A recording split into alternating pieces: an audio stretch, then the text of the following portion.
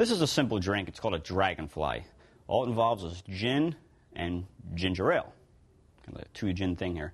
If you've ever heard of a cocktail called a highball, uh, it's been popular for a real long time. That was whiskey and ginger ale.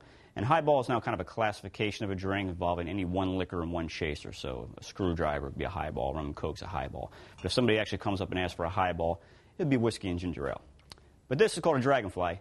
It's gin and ginger ale. So let's get going. We're going to use a highball rocks glass filled with ice, and you're just going to make this right into the glass.